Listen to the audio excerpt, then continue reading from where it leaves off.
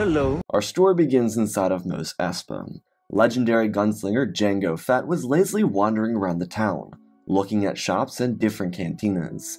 He'd already had a couple shots, after a bounty hunter paid for a shot for helping with a bounty out on Ord Mantell. Jabba paid big for that specific catch, so Jango was getting a little extra bit of the love. The dusty streets of the city were certainly something.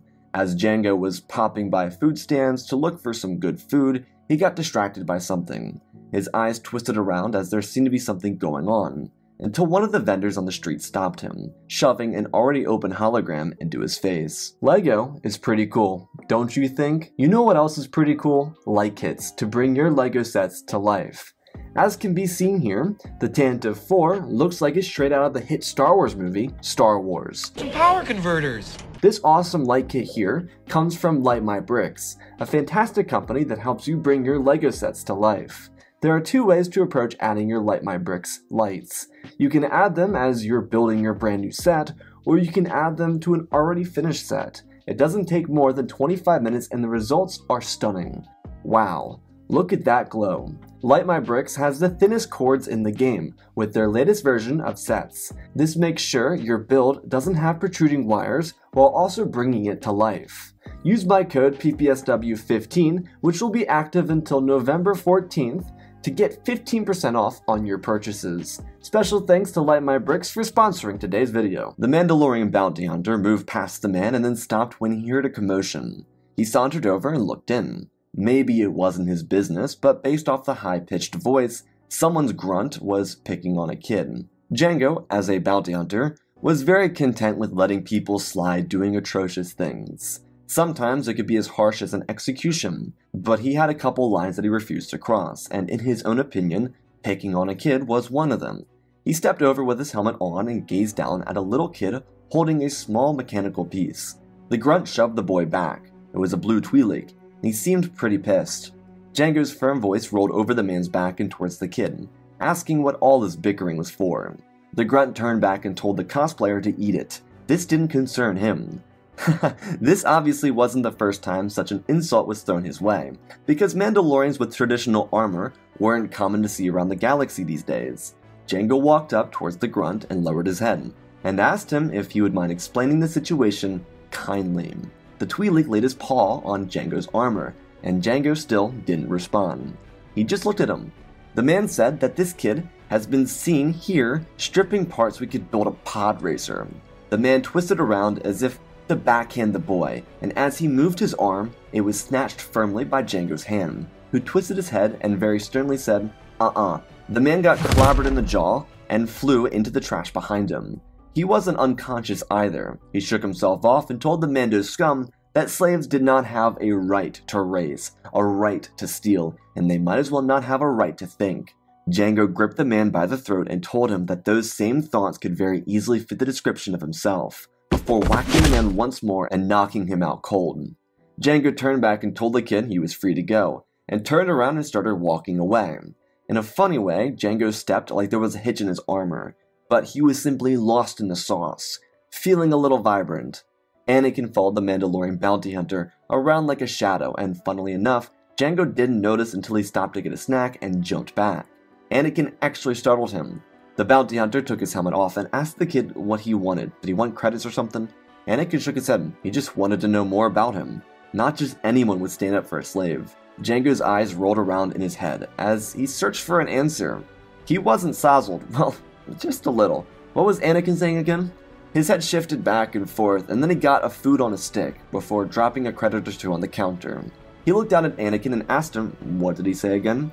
Anakin laughed a little, wondering aloud about why a bounty hunter would save a slave when there was nothing to profit from it. Jango just tilted his head with a little confusion as he watched Anakin walk off into the crowd. What a funny little guy, he thought to himself, as he walked away and into the hangar bay where Slave 1 was landed. The bay doors were open, and he tossed his helmet onto a rack and settled in, munching on his little food stick and falling asleep with half of an eaten meal on his chest. Luckily, it wasn't on top of the Mandalorian armor. When Jango woke up, he slipped back and forth around the bay of the ship and found the bathroom to wash his face. As he washed off his clothes and put on a new pair, he was confronted by the hangar operator. asking for the credits for the night's stay, and he tossed a couple credits at them. Jango's head was pulsating. What a trip. He didn't understand why he was so loopy. He prepared to leave again to get some more food, considering the pay for the hangar lasted until the end of the evening. As he was getting ready to leave, he remembered that he had a little weird interaction with a slave child yesterday. Some of it was blurry, maybe he was a little more sozzled than he liked to admit. He walked out into the hangar, and as he left, he was confronted by three or four individuals. With them was a Twi'lek from the day before. But he didn't really remember that either. The grunts tried to tell Jango that he was in big trouble, and each of them were left with broken bones in their faces as he walked away to get some sobering food.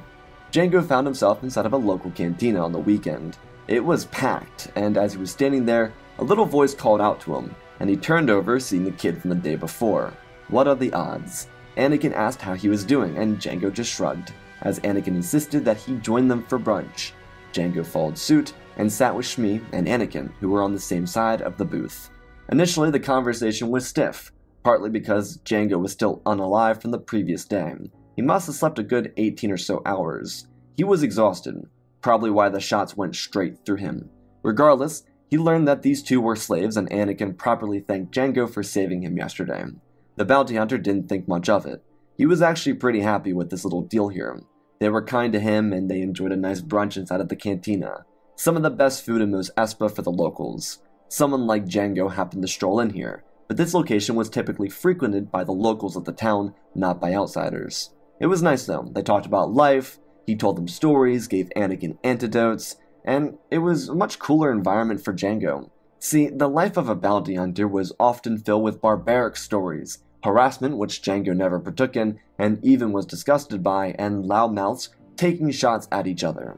Truthfully, which Jango didn't know, most of these hotheads acted like that because they wanted Jango's approval. Sometimes he'd get a laugh in, but most times, especially when the foolish ghouls were harassing people, he'd bust their heads into the tables and whatnot.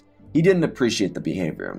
So being with Anakin and Shmi was nice because they could have a deeper conversation that wasn't so surface level. Jango did feel a sense of shame for them, because he wasn't the biggest advocate for slavery. He couldn't say much because he had transported slaves for a job or two, but still, he felt some sense of pity or shame that they were stuck in their predicament. He would leave Tatooine and go see the galaxy, and they wouldn't. After today, it was back to the slave works. This was an odd occasion for them anyways. Watto didn't give them credits to be slaves, but sometimes he'd give them a credit or two, and Shmi always saved it so Anakin could be taken out for a nice lunch whenever they had a chance, and this was that. The conversation moved on long past their food, and even into the hours beyond the kitchen closing in the early afternoon before supper started. They just had a good time, and Jango enjoyed the simplicity of talking with others that weren't trying to suck up to him. He was a simple man, trying to make his way around the galaxy with ease. He had just been given a huge payment from Damask Holdings to do a big time job for some type of army, and while there was a promise of an extra incentive there, truthfully, having considered things, he liked the idea of this little group here. However, there was something he was concerned about. He understood the vulnerability of being placed into this predicament. Shmi and Anakin would lose everything if he bought them, because they were slaves from the hovel, and they weren't allowed to keep their stuff, and they'd be forced to move out. It incentivized individuals to remain slaves because it was better for them or something. Regardless, Jango didn't want Shmi or Anakin to feel pressured to be his friends, and he did mean friends by the simplest of terms.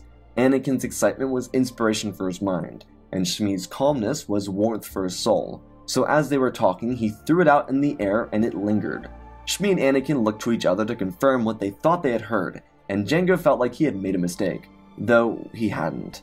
The two of them were just surprised. Shmi was understandably standoffish about this because they had just met Jango. What if he was going to use them or expose them or who knows what else? She didn't want Anakin's life to get worse. Jango explained the miniature plan he had just concocted in his mind, because he did actually want a family for a long time, but it was hard to have one when you're a bounty hunter. You can't just do that with the rapid needs of such a job. So he offered it to them and said, that there was a location at Saleucami where he could give them refuge and he wouldn't bother them, even if they didn't want much to do with him. Jango, in a way, felt like he was digging himself a hole, because it kind of was. He spoke on a whim and surprised even himself that he had. He was just trying to make the best of the situation at the moment. He told them that on Saleucami they could live and start a new life, one that could or could not involve him as a friend. At the end of the day, Jango just wanted real friends, and he felt like this was the first step to doing it. He did want a kid, and cloning himself to have one was an easy way of obtaining that. But even in his own mind, having a kid wasn't so he could force them to be the exact replica of himself. Having a child is to guide a young individual who is completely unique as a human being, one that did not have to bend or break to their parents' rules or lifestyle, and let them grow. He could see that possibility here with Anakin. Shmi asked that they have a moment to talk, so he gave it, and when the time came, they accepted, though they would like to see the location first and have more than his word that they would be protected there, and that this wasn't some type of trap. Because traps like this did exist, where richer bounty hunters played off the desperation of others and used it to their own benefit. Jango had killed many individuals like that in his life, but he gave the evidence and the two of them accepted. It would take hours of negotiating and threatening to light Watto's wings on fire for Jango to seal the deal.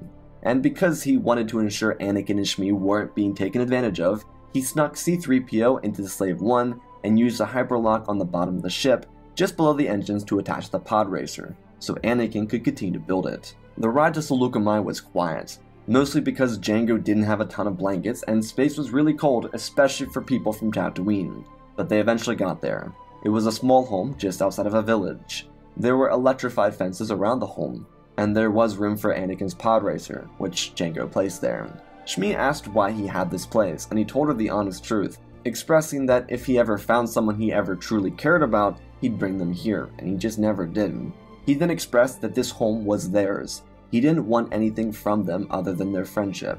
In a way, it felt like he had sold himself out, and he kinda did, but he believed that this was the right decision to make. Then, after all of it, he just left.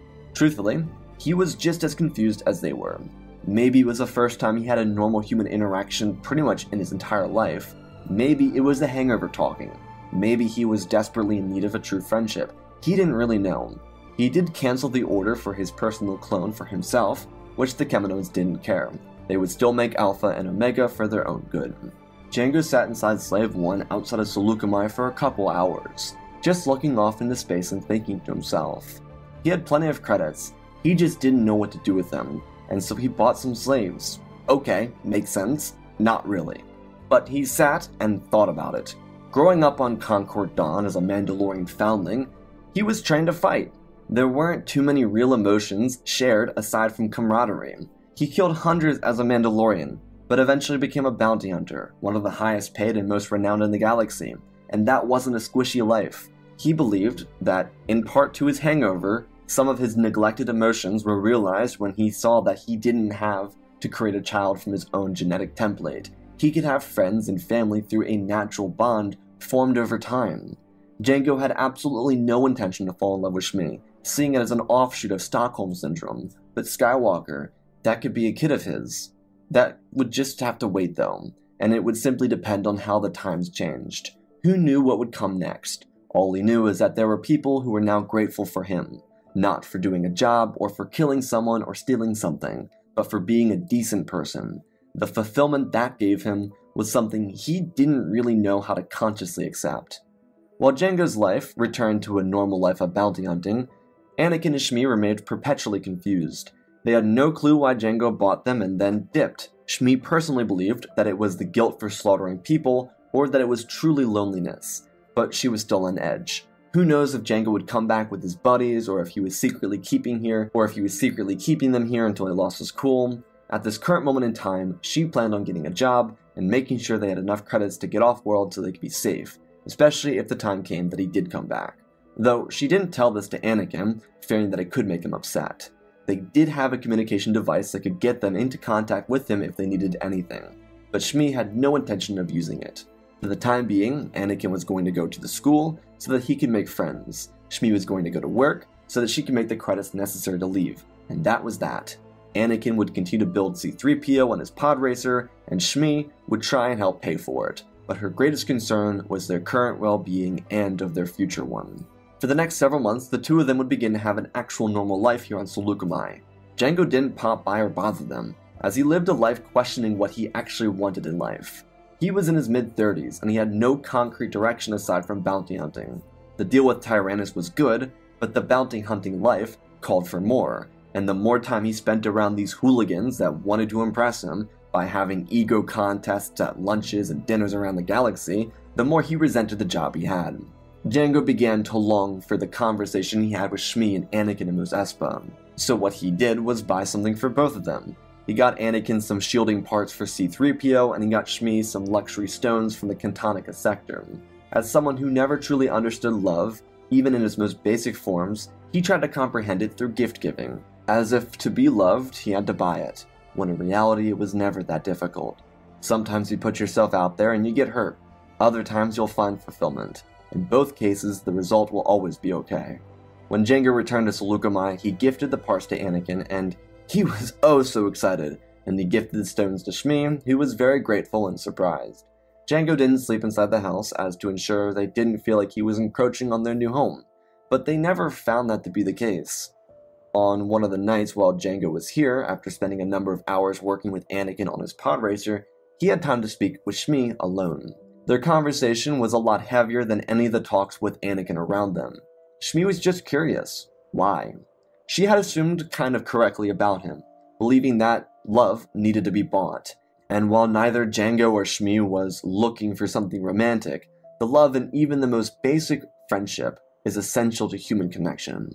Shmi understood this, and Jango finally got to learn that he didn't need to give anything to get it. But specifically for Anakin, all she asked is that he spend more time with the boy. Shmi was a strong individual. She never relied on anyone and always had her own back. She was content with that. The job and life she had here on Saleucami was fantastic, and she was eternally grateful for Jango's kindness. But she realized that Anakin needed Jango and Jango needed Anakin, more than Jango even realized. And that's all she wanted for Anakin. And if it would make Jango happy, then that would be an added benefit. Shmi just requested that he never get her son into the bounty hunting game, and he promised that he wouldn't. Following this conversation, Jango learned how to loosen himself up. He was no longer stiff with his words. His approach to the family, he now considered his family, was kind and compassionate. He would bring both Shmi and Anakin gifts after bounties because gift giving just so happened to be one of his love languages. But for Jango, he began to enjoy the simplicities of life with people who appreciated him for him. Yes, the Skywalkers were thankful for their freedom, but more than anything, the connection between them was what mattered the most. Jango became the first true father figure Anakin ever had. When Jango first found Skywalker, he was only eight and a half or so, so the influence he had on Anakin was absorbed like a sponge. Jango did continue to bounty hunt for the months following this initial conversation with Shmi, but the missions became shorter and shorter. He came back to Saleucami more and more because he enjoyed spending time with Anakin. They bonded over mechanical work, specifically on the pod racer and on 3PO. Jango would frequently bring parts back to Saleucami, so Anakin could build his racer for real. For the most part, these moments would be great. As all good parents know, the key to being a good parent is distracting the child with something while feeding them their theories. That's what Jango did. He would sit there with Anakin, allowing the kid to build his racer while he sat on the ground and pointed to different circuits that Anakin needed to use and tell him his theories on the galaxy. Mostly joking. For the most part, Jango would let Anakin figure this out on his own, because he believed that it was important for Anakin to put things together himself, but he supported Anakin's work and the pod racer full-heartedly.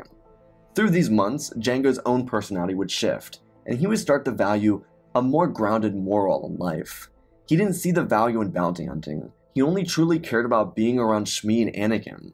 Jango noticed this because he was always on missions and thinking of stories to tell his friends. Anakin adored the stories, and Shmi was always cautious about this. But because Anakin was happy, that's all that mattered. Their lives would continue to drastically get better. Jango decided to stop taking calls from mob bosses because he wished to spend more time with his family.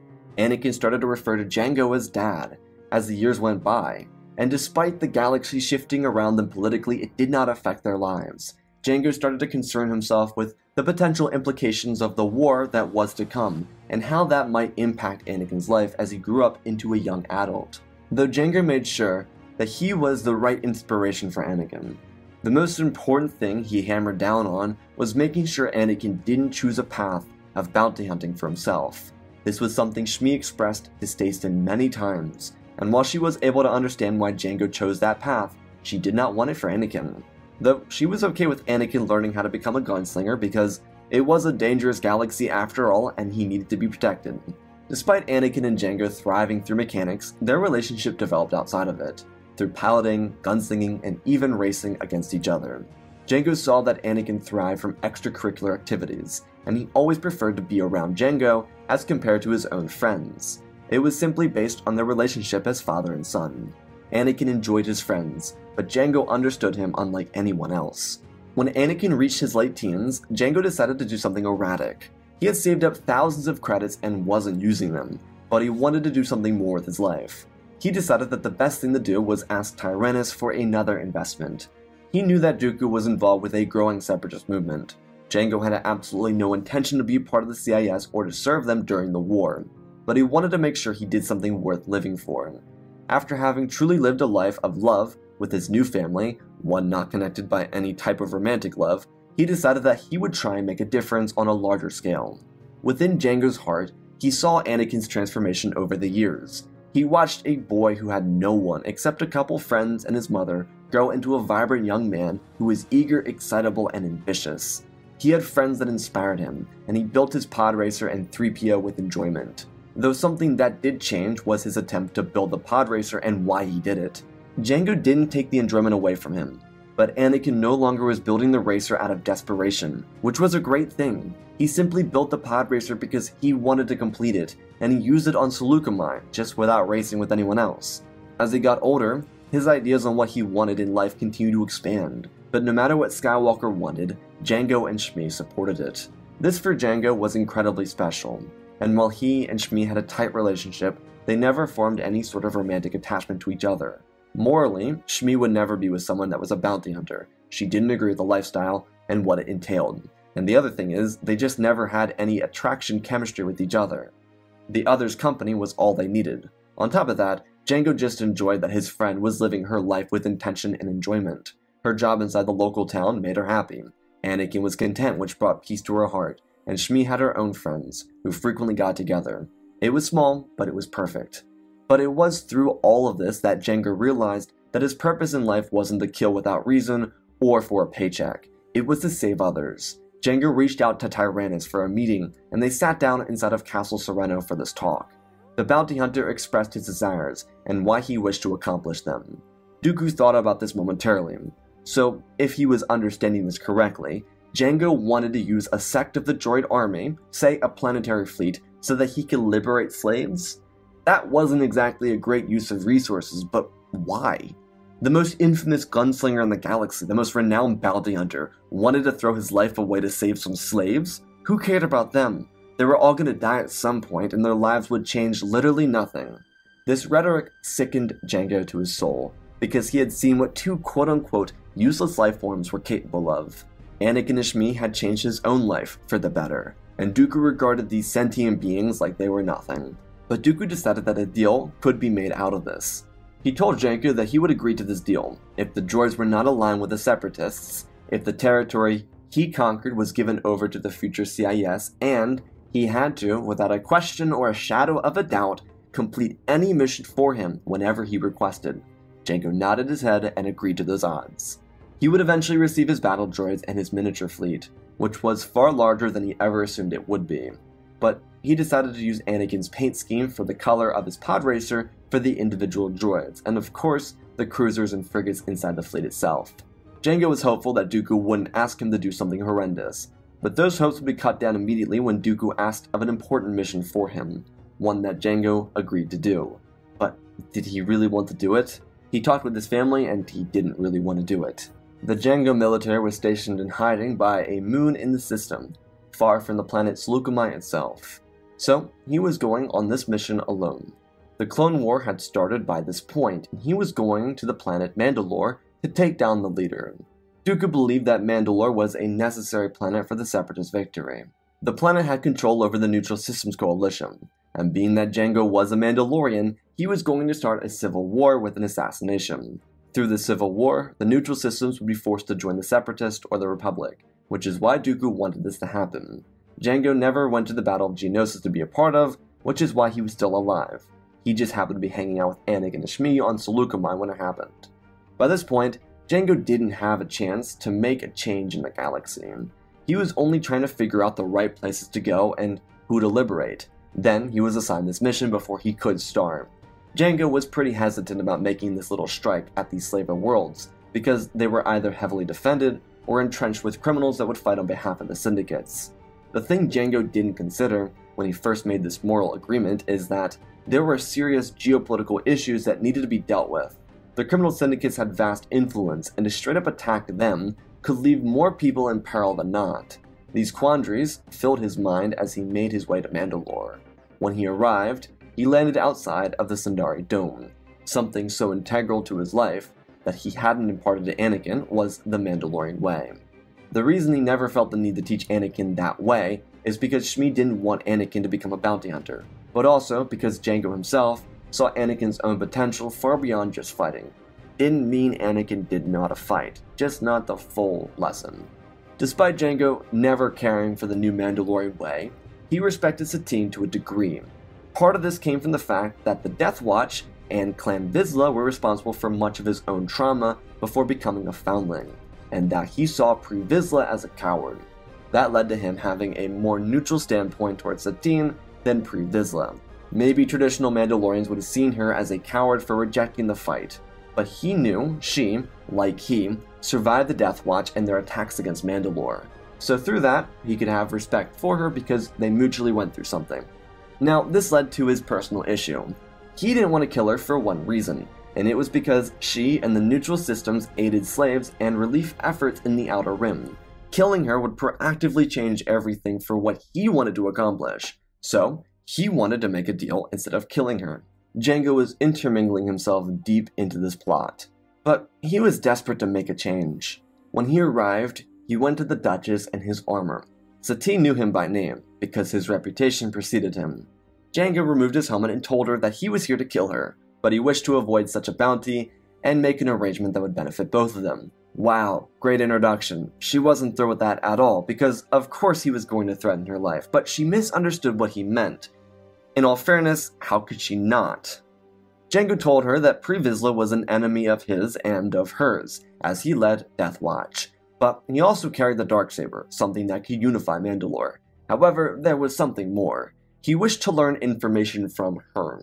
He wanted to know about the slave rings and which ones were most vulnerable to an attack, because he would use Death Watch after he killed Vizsla to help her efforts to free slaves.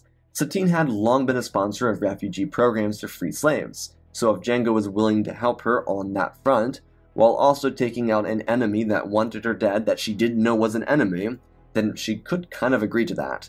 She didn't like senseless violence, but that was their way, and Jango was who he was.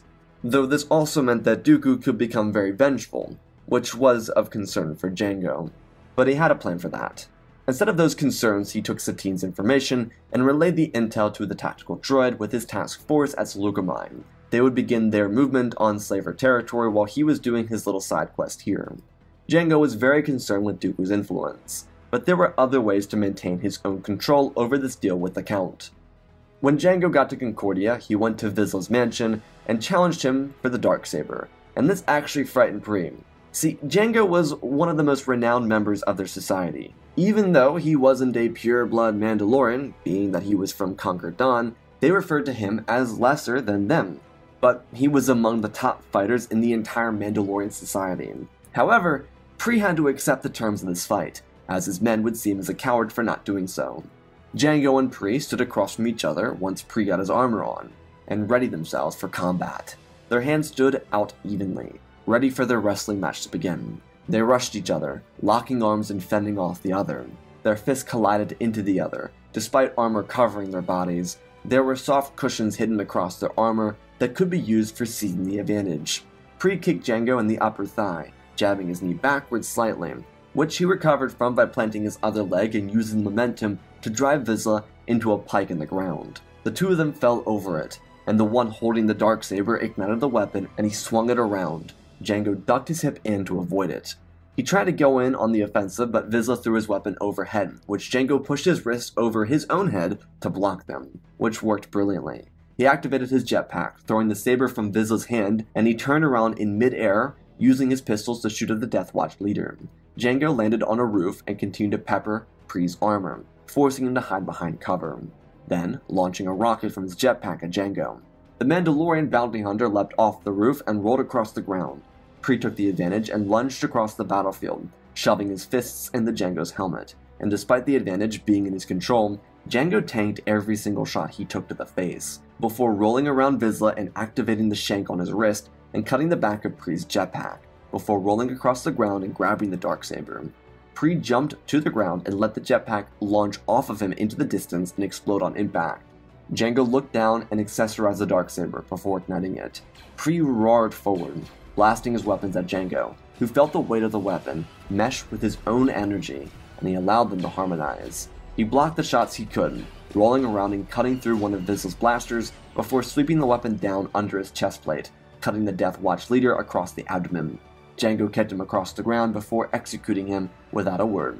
Fett turned to the other Death Watch members, standing around him, as he told them that they should look upon this pathetic leader, the one that stood no true chance at beating him, and now looked to himself as the true leader of their cult.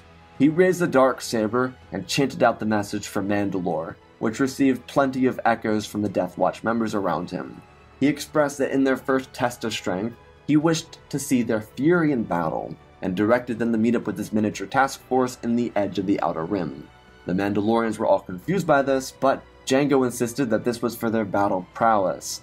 He had himself a meeting with the Duchess so he could take Mandalore for all of them. There were two legitimate approaches to this and Jango would suggest the second one of them.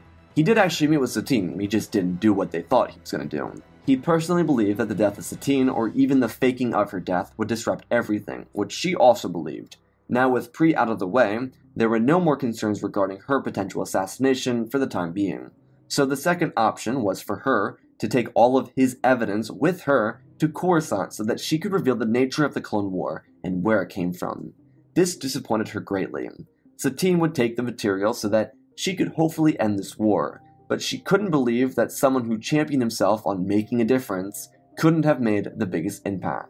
Those words sat heavily on his heart, because while he was becoming human again and feeling emotions, he was allowing a galactic divide to form, when doing something could have stopped it from ever happening to begin with. There was another side to this where the Republic could have chosen to not believe him and his evidence, but regardless, that wasn't the point. He could have stopped the war before it started, theoretically. Jango did tell her that he promised to make sure Death Watch upheld neutrality with Mandalore itself, believing that Mandalorians were stronger together than separated. And while he would never fully agree with her decision to remove the warrior path from Mandalore, he believed that it was her right, as their leader, to make the decision that would best benefit the society she proceeded over. At the same time, for Jango, this mission for him was something he did to keep Tyrannus off of his back for the time being. He had no care for the clones of the Kaminoans or the war in all reality. His only goals now were helping the people of the galaxy and keeping his new family safe. Though he decided that it would be a good idea to remove Shmi and Anakin from their home on Saleucami, just in case anything bad happened. The way Jango framed it was family vacation. He quickly crossed the stars and met up with them before abandoning the planet. The best part about Jango's military unit was that they didn't need him. They were designed have set orders. They would follow each of them until their tasks were finished until they got another one. During the battle for some random Outer Rim planet that Satine listed, the Death Watch warriors could join them and they would have a smackdown on the slavers of the system. On Coruscant, the state of the war was completely disrupted. Satine showed up with evidence and provided it before the entire Republic. She was going to Coruscant for a different reason as it was. She was speaking to them about trading with the Confederacy and the Republic, without it being considered an act of war, because trade was very necessary to the success of the neutral systems during this conflict, and she happened to represent all of them. Essentially, she came with the message, confirmed that it wasn't an act of war to do trade, dropped Jango's message, and dipped, because it wasn't any of her concern. The fallout of the Clone War being a manifestation of Dooku's as well as a political war that Palpatine was dumb enough to get himself dragged into, created an all around terrible situation for the Sith and not for Satine. It led to the removal of both heads of state. Palpatine did attempt Order 66, but by the time he did, Shaak Ti had heard the hearings and received confirmation from the Jedi Council to threaten the Kaminoans, which she did. It sounds simple, but it wasn't. The only reason it worked like this was because Palpatine had to spend hours inside the Senate chambers, debating with others about everything, and not executing Order 66. Dooku, inversely, immediately called out Order 99 on Jango's droid army, and tragically, this didn't mean anything for Jango. But the Death Watch, that he now controlled, got massacred, mostly. The rest of them would return to Concordia in shambles. Dooku, at the same time, had become obsessed with finding and killing Jango, which he was positive was going to happen. The problem for Fett was he didn't want to ask for protection. But how could he not? Slave 1 was big enough for the three of them to comfortably live within, but he still preferred that they weren't living inside of a bounty hunting ship. They found systems across wild space that were uninhabited or had small mining, farming, or industrial towns and settled in them for the time being, before bouncing off to others around. Outside of Jango's struggles, what they were going through wasn't exactly everyone's favorite thing in the galaxy, and it brought a really sluggish war to a halt. Because what exactly were they supposed to do? The Senate was preoccupied with the fact that their quote unquote fearless leader fell for the scam of the galaxy. Irony being, many of them were upset that they got played as well, and they were taking it out on Palpatine. He was their scapegoat. Dooku was immediately removed from power and he turned the Separatist weapons against the CIS government without Palpatine's control. He figured that if the galaxy was going to crumble, then he might as well be the anchor when it came back to life. So Dooku took his shot. Grievous was also in his control. Palpatine was out of power, and the Republic elected Onaconda Farr to be their wartime leader. Jango, despite losing access to his droid forces, was able to sit back and watch with Anakin and Shmi. No one was happy about it, but in a weird way, this alternative could be better for the galaxy. He did impart a message for Death Watch and explained to them that he and Satine had created an alliance. Their orders for the time being were to stay placed on Concordia and continue training. He didn't really want them to do anything extra. After all, Bo-Katan reported on their casualties and how bad they were, so they really shouldn't be doing anything. This time away from the galaxy led to Jango speaking to Anakin and Shmi about deeper, more ethical questions. Did he do the right thing? Was he supposed to do more or less? Anakin didn't think so, believing that the situation was far larger than he. Though Shmi was a little harder, believing that he could have prevented this conflict. However, she understood why he didn't, because without the actual conflict itself, things could have flown under the radar and gotten worse when the conflict actually came. The war challenged people to see the reality of the situation, and without that challenge, Jango's words may have meant nothing. The Clone War, so infant into its beginning, simply went from a planned war into an unplanned offensive, but Palpatine would be damned if he let Dooku steal his thunder. If the Kaminoans were going to stop him from controlling the clone army, then he would take control over the droid armies and they would begin their march on the galaxy. As Palpatine was going to take down Dooku, Jango was blitzed by battle droids out on a frontier planet. Unbeknownst to him, Dooku had put a tracker into Slave 1 which meant that once Order 99 was redone, the droids were sent into territory Jango was known to be at, with one directive kill the bounty hunter and his family. But because Slave 1 bounced around to so many planets in the same sector so quickly, the droids had to stop everywhere, further meaning that when Jango was attacked, it was by a detachment of 50 or so battle droids, which wasn't even a challenge for the bounty hunter. He and Anakin tag teamed the droids, firing away at them from above and below, while Jango at the end used his Darksaber to destroy whatever remained. Though there was a great benefit from this little surprise attack. Father and son fully finished putting together 3PO a couple years back, who they accidentally left at the farm in Saleucami, whoopsies. But this meant that they could either reprogram these droids or do something even more drastic. They did have to leave if they didn't do it as quickly and productively as they needed to. Jango and Anakin cut the heads of the droids off and started working on their circuitry, Using what little tools and time they had, they were able to learn that the droids were activated with Order 99, which pretty much hard reset them into a mode of instability. This is why the Mandalorians were turned on, which Jango had learned about in the aftermath. So he figured that if they could, together, reconfigure a couple of these battle droids, they might be able to send a virus back through the droid command with a simple verbal override. It took some hard craftsmanship, a couple yelling at where the light should be and where it shouldn't be, and it also would have been easier had they not accidentally abandoned 3PO at home. But they sent a couple little droids back to the ship and back to the fleet, and they would report Jango and his family's execution, send out the override command, Order 99, and relay it to the rest of the army, which turned into a very quick death for the Sith. Jango, Anakin, and Shmi bounced off that world. In the time since Dooku had sent out his orders to kill Jango, he defeated Sidious in a duel before being killed by Palpatine's electricity, leaving Sidious in command of the droid military that would very soon conquer the galaxy. Jango's orders would disrupt all of that, sending the droids into a rebellion on their fleshy overlords, including General Grievous, and then putting them all into an almost zombie like dormant state, where they tried to develop their own artificial intelligence without anything to go off of other than the programming of war and each other, bickering with each other. While this might not seem like it would affect much, it would completely destabilize the Techno Union and Trade Federation, leaving two conglomerates in shambles. Though this for the Clone War also meant a complete economic shutdown. Due to an entire government getting eviscerated by Dooku, the Republic was forced to do damage control with already untrusting systems and planets. Without Palpatine, though, they actually had a chance at rebuilding broken bonds and potentially making amends with the people wronged by his rule and the few month old conflict. Because the droids were a massive military force sitting dormant out in the mid rim and outer rim, the Republic decided to address them respectively, but also with a hint of intention. They didn't want to start another conflict, and they wanted the droids to have their own free will, so they were kind of in a bind, because this force could become aggressive at any one point and turn on the galaxy. There were suggestions for an Outer Rim expansion, but instead, they gave all the droids exclusive access to the unknown regions. It would give the battle droids a chance to find their places of belonging. Little did the droids realize how uncivilized the unknown regions were and how it was kind of a trick.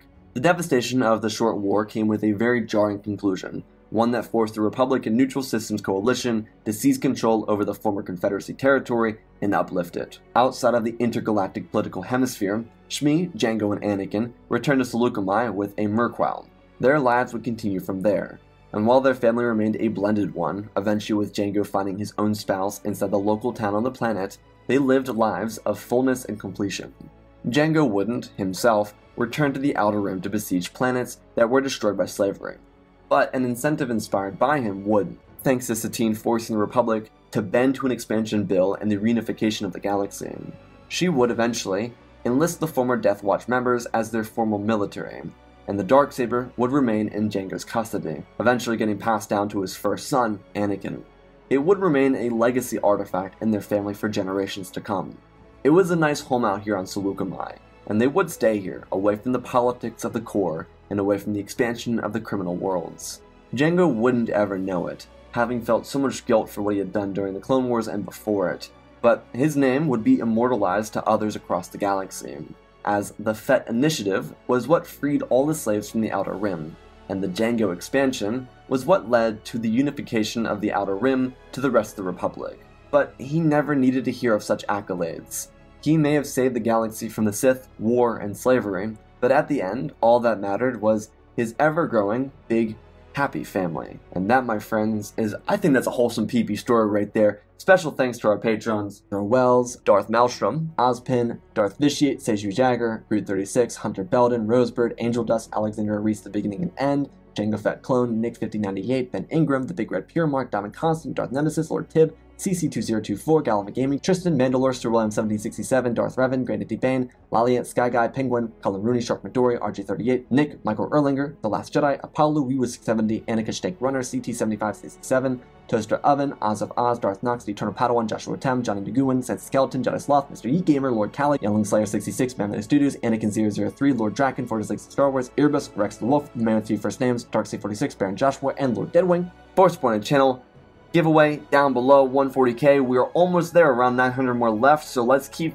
doing a thing. I want to give those Star Destroyers away. Please, let's get them. Let's get them going before Thanksgiving. Otherwise, let's talk about the story. I really wanted to kind of focus on Jango's um, sentence in Attack of the Clones.